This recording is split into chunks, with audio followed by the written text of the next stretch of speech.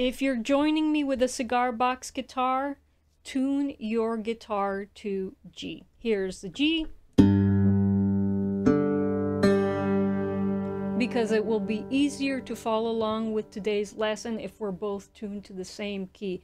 Now, if your instrument cannot handle tuning up to a G, if don't worry about it. Do the pause and then try the technique in your own key and then come back. But those of you that can, tune to a G for me.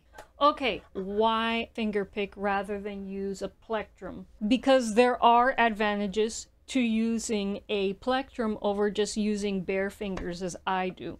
A pick gives you a louder sound and a punchier sound, a, a sound that cuts through an ensemble, gives you good clarity. Um, if you use bare fingers like me, you get a more muted sound, a bassier tone, but a, a muted one nonetheless. And that's its own aesthetic, its own thing, but it doesn't give you the cut. That's one disadvantage of finger picking. Now, the thing is, it's harder to achieve uh, polyphony or having different voices work at the same time with a pick. Now, I've seen amazing guitarists achieve amazing polyphony using a pick or a plectrum and respect to those guys who can do it. But it's much easier to achieve the same level of polyphony using just these three fingers here. So for me, this is a plus for finger picking. Now, why haven't I bothered to become, look up some tutorials and become good at using a plectrum? Because I can get the advantages of a plectrum while finger picking if I do two things. I can, one, grow my nails like a classical guitarist and have built-in plectrums. Now, I haven't done this because I'm a crafter and it's hard to use your hands when you have long nails. Now, something that I'm experimenting with is using finger picks. And once I've mastered playing with my finger picks, I'll have the full advantage of finger picking with the sound of a plectrum. So I'll get the best of both worlds using finger picks. Now, I, I'm not going to come on and play with my finger picks today because I'm still getting used to them. It does take a little bit of uh, translation in technique going from bare fingers to finger picking. I mean, it extends the length of your fingers. You feel the pressure of the strings in different places on your fingers. So you kind of lose your muscle memory when you first try to transition from bare fingers to finger picks. But that's what I'm working on. And when I've mastered the finger pick, I'll I'll come on and show you what finger picks I'm using and play a little for you guys. Anyway, what's on the docket? This is what's in the game plan today. We're gonna look at my go-to finger picking techniques. And all of these, by the way, are blues staples. You can apply them to other genres, but they are definitely blues staples. We're going to start with the techniques that require the lowest level of finger independence, and we're going to move all the way up to the techniques that require high levels of finger and independence. The first thing that we're going to look at is the one flat seven, flat six, five descending chord progression. I like to play this with a three finger simultaneous plucking technique that looks just like this when I'm playing it. All right. And I also play this um, blues chord progression with alternating fingers this kind of movement. Fingers working together, uh, but not exactly independent. Now, this chord progression, I'll explain what these symbols mean, by the way. This chord progression is used in tons and tons of classic blues songs, such as Why Don't You Do Right by Mississippi Fred McDowell. I found another bluesy song that uses this pattern called One Meatball. Shout out to my friends from B Roll Stage. and uh, Hit the Road Jack uses that chord progression throughout the song. And so we're going to look at the uh, finger picking techniques that I use to play this chord progression. Before we move on, let me show you what these symbols mean. So I'm using the key of C major and its parallel minor to explain what these symbols mean because it's it's very easy to think in the key of C. Why? Because C major has no sharps and no flats. These Roman numeral symbols in classical music analysis are used to indicate what chord you're playing in the context of a key. The symbols also give you information as to what the quality of the chord is major, minor, augmented, or diminished. For example, if you build a chord on scale degree one, how do you build a chord? You just skip a letter. C, E, G. This triad would be a major triad. Okay? And major triads get a capital Roman numeral. So the chord on scale degree one of a major key is a major chord. If I were to build a chord on D, F, A, which is a chord built on scale degree 2, the quality of that chord would be a minor chord. Thus, you have the uh, lower Roman numerals. All right? Let's skip to the chord built on scale degree 7, which is using a different symbol. It's using um, lowercase Roman numerals with a little degree sign at the end. When you build a triad on B, D, F, you get a diminished chord. So the chord built on scale degree 7 is diminished, and that's the symbol for a diminished chord. Now, in the hit the road jack chord progression that I just showed you, which is a chord progression of 1, flat, 7, flat, 6, 5, except we'd use the major mode of 5, all right? Since we're in a minor key, we'd use the minor key Roman numerals, all right? If you were to build a chord on scale degree 1 in a minor key, you get a minor triad, thus the lowercase 1. Let's go to 6. If you were to build a triad on scale degree 6, you'd have a major triad, thus the capital Roman numeral 6. Now, just a disclaimer for those of you using Roman numerals for music analysis in the context of classical music. When you're analyzing classical music in minor keys, you don't have to use the flats before Roman numerals. All right? I'm using the flats because, you know, I'm always comparing the key with its parallel minor because on a three string cigar box guitar, we're only functioning in one key and all of its parallel keys. So we're looking both at major and minor key at the same time. In classical music, you would use it if you're trying to represent modal mixture. If you're not representing modal mixture, you don't have to use these. You're not always comparing the uh, parallel major and minor together, okay? But in this case, again, this cigar box guitar, I am functioning in, in all the parallel keys at the same time. It's just clearer to show.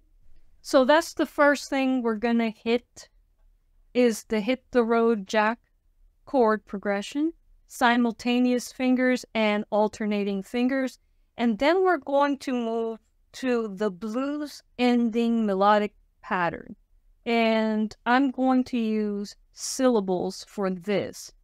All right. The melodic pattern is te, la, le, sol. That is a little chromatic pattern leading up to sol. I'm going to show you how to play this chromatic pattern as a single line or with alternating fingers. And then once we get past this, we're going to go to the highest level of polyphony, talk about the walking index finger and middle finger plucking pattern for playing melodies against your thumb playing the bass line. So without any further ado, let's hit the road, Jack. Okay, now in order to show you what I'm doing with these three fingers in the hit the road jack pattern, I kind of have to show you what I'm doing in the left hand with my slide as well. So I'll quickly show you what's happening with the slide so that you can follow along with the finger picking. Here's my trusty DIY ceramic slide. Those of you who have handy dandy scale degree markers on the neck of your cigar box guitar, you'll be able to find uh, these placements easier than people that don't. For those of you that don't, I will also relay the information through fret marker number, okay? But for those of you who have scale degree markers, place your slide on scale degree one position. And again, I'm grabbing all three strings with my slide. Then move to flat seven, regular seven, major mode seven is a half step under scale degree one. You just want to go one more further than that and you got your flat seven. And then move to flat six, which is which is a half step lower than six, where your dot indicator is. And then go to five.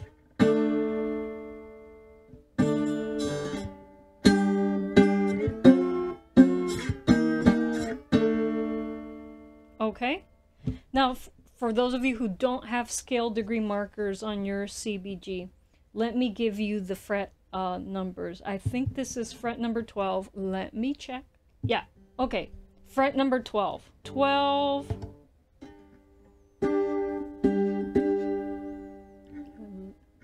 Ten.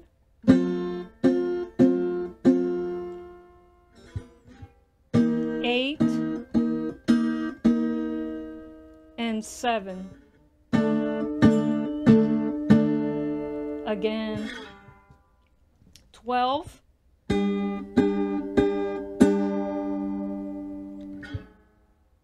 Ten, eight, and seven.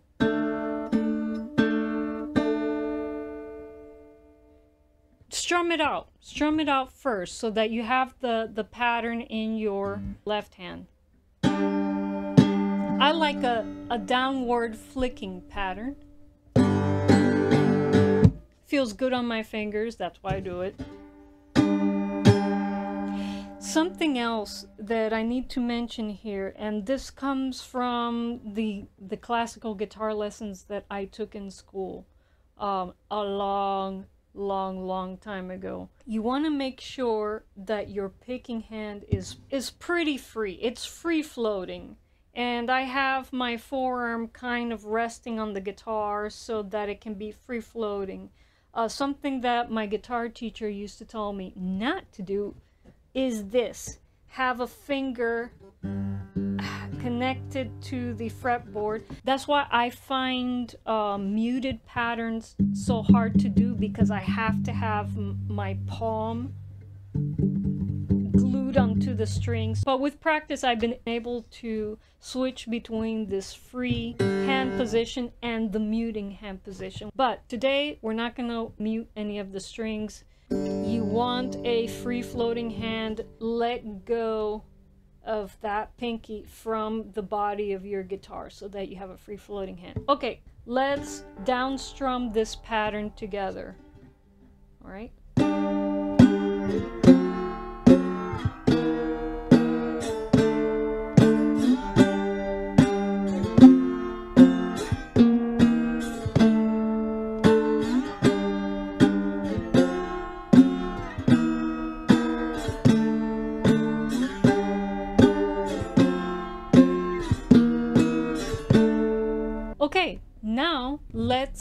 Do our most basic finger picking thing where all three fingers are working together plucking the strings at the same time. Very little independence between the fingers, and that's why it's easy to execute.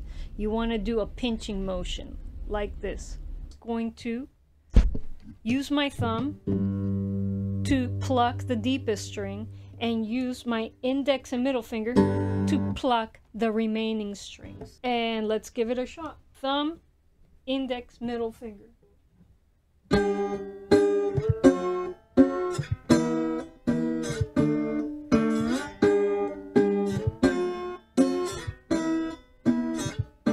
Make sure you're relaxed and not doing this with any sort of tension, guys. Find a relaxed position. This is not relaxed for me. It's kind of uncomfortable, but just so you could see what's happening with my fingers here. Yeah.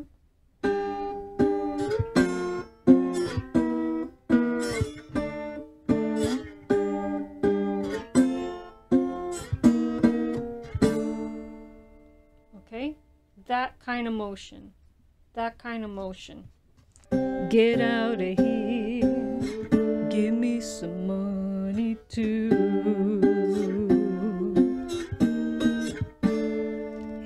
The road, Jack. And don't you come back no more, no more, no more, no more. Hit the road, Jack. And don't you come back no more. There are tons and tons of blues songs that you could play with this chord progression and the plucking pattern. And when you get used to this plucking pattern, you can combine it with that flicky down strum.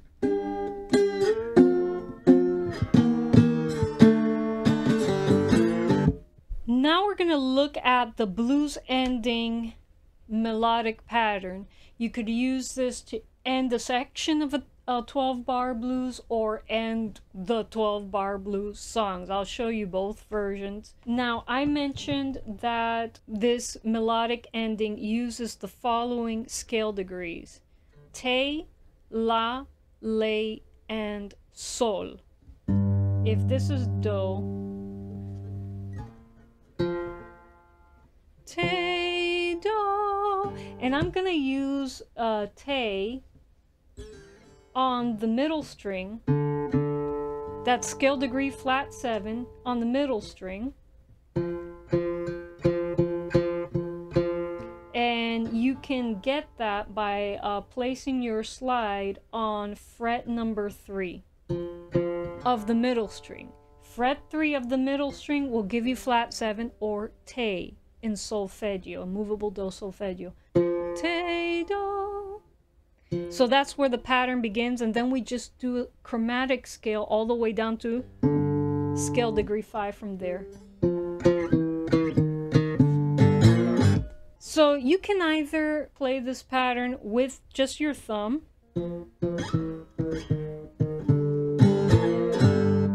or you could do the alternating finger pattern that I like to do.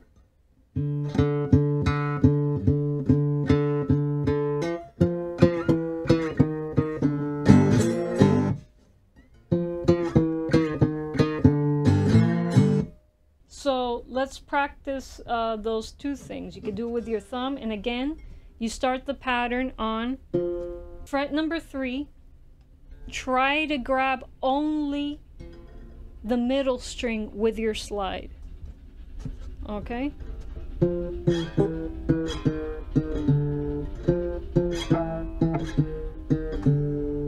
Okay? And with the alternating finger pattern, which is what I prefer.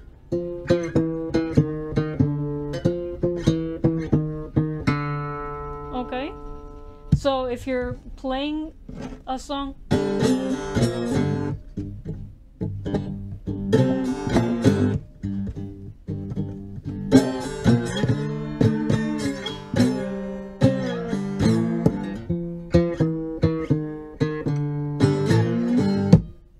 okay? Or you can go to five to start the uh, start the 12 bar blues again. All right. Now what I'm doing is I'm I'm still only grabbing the middle string with my slide, but I'm alternating between thumb and index or thumb and middle. Whatever you prefer, it doesn't matter. You can use either one. I'm used to playing it with thumb and middle finger for some reason. That's how I've adapted to playing it. Again, you're still just grabbing the middle string with the slide.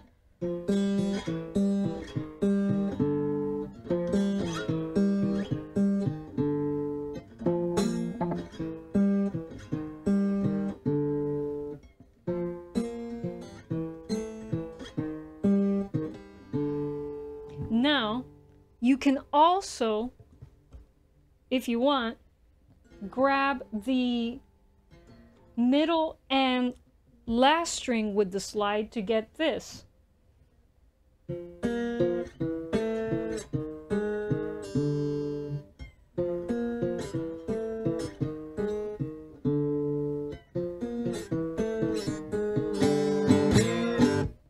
Either one works, whatever you prefer. So you're playing a 12 bar blues.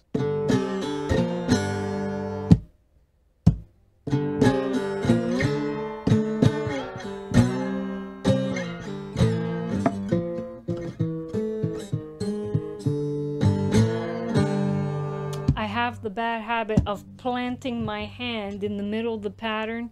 Again, I gotta practice that myself to keep my playing loose and not introduce tension to the playing so that I can play longer. It, it, it sometimes I have to consciously think, get your hand off of that soundboard. So I'm reminding myself and reminding you guys, uh, don't get into bad habits because they, they're hard to shake. All right, let's do that again.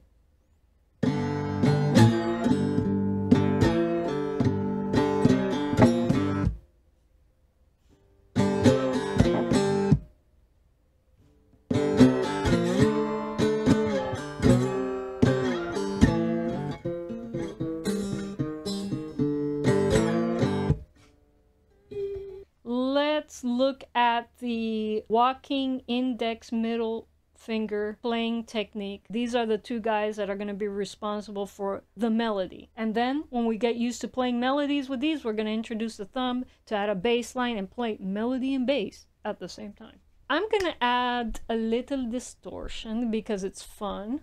Why not?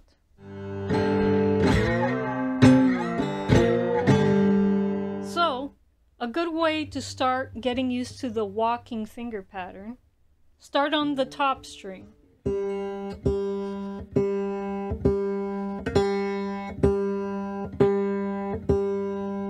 I keep saying pattern, but I mean technique. I think it makes melodies sound better than if I were just to pick it out with my my thumb.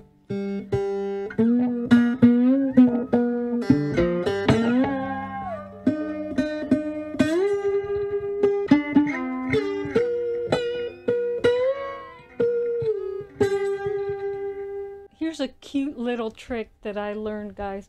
You want to just pick out a blues scale, quote unquote. There are many blues scales, but a blues scale really easily melodically. Just follow the dots on your guitar.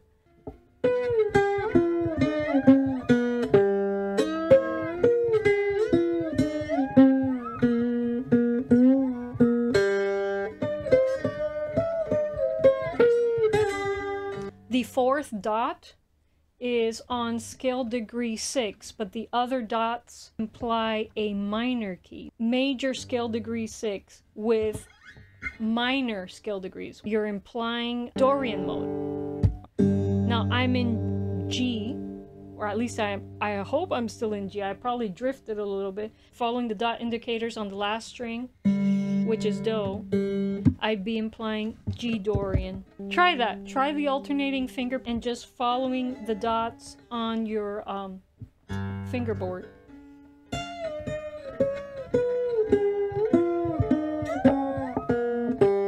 Now play around with that.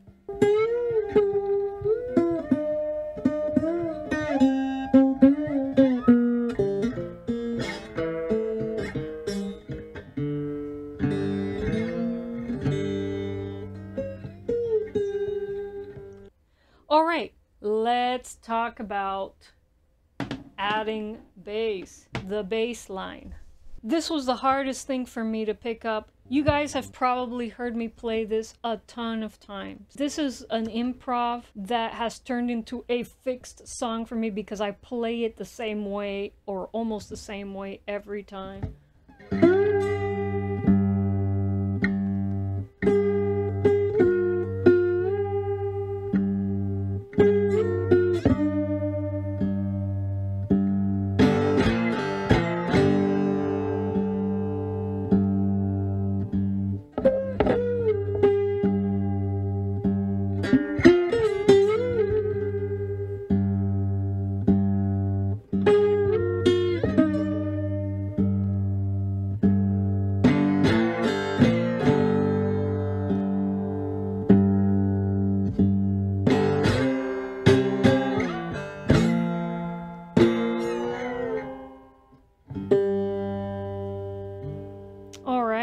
So I got a very simple bass line going there. And what's hard, even for me now, is to keep that steady bass line going while these two fingers are just doing their own thing. A way you could get started is just doing this.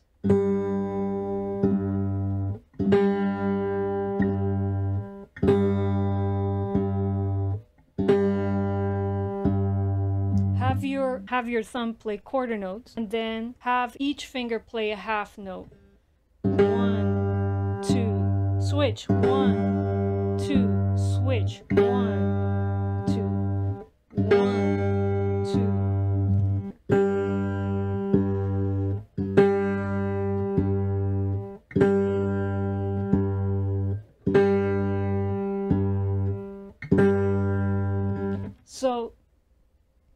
each finger comes together with the bass after a half note. And when you can do it without having to worry about doing anything in your left hand, then try to throw some melodic stuff in there.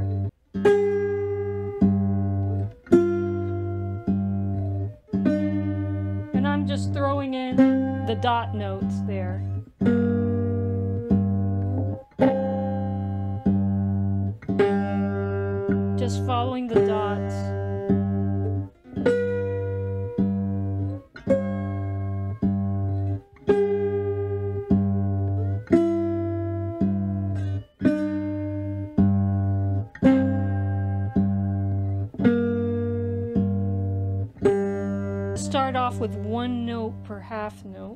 Once you get used to playing that, you can throw in in between notes.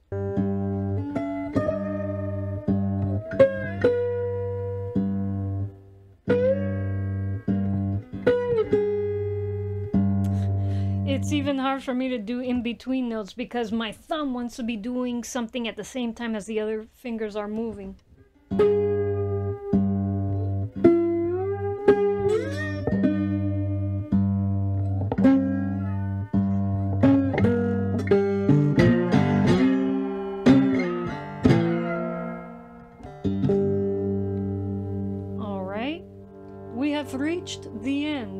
The lesson, everyone. Um,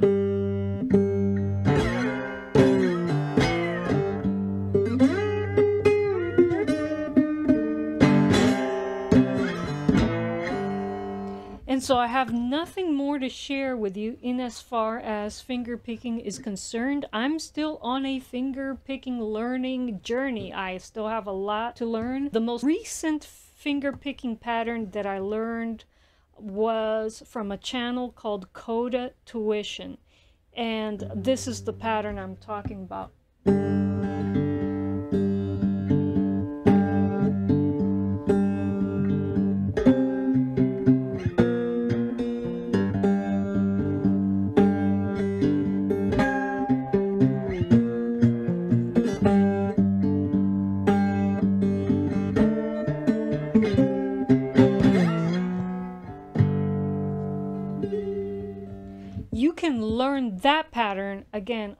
Coda Tuition's channel. I've included his video on how to play that finger picking pattern in this playlist. I have the my CBG lessons playlist set up so that you're going from basic techniques to more advanced techniques, you're going to find uh, that video on this pattern by Coda Tuition towards the end of the list. I am not going to steal his thunder and, and show you his this pattern. Go to uh, his video in my playlist and learn that pattern.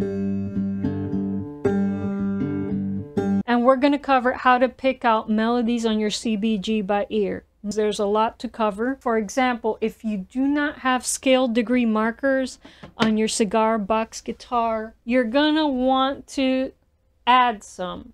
And I'll show you where to place them. So we'll start with that. I'll review what these scale degree markers mean. And I will show you how to use them to pick out melodies. And that's going to require a little bit of ear training. We're going to have to learn how to sing the major scale up and down and skip around very well. And then we're going to do natural minor scale up and down, skip around using scale degree numbers and movable do solfeggio for those of you who prefer movable do solfeggio. So that's the prep work. I know it's a little bit tedious, but I promise this will be very, very useful for you because once you can pick out melodies by ear, guess what? You can also pick out chord progressions by ear and you will not have to rely on tablature or stuff that people post online to figure out how to play the music you want to play. It will be well worth it, I promise. Thank you guys for being here. Chaito.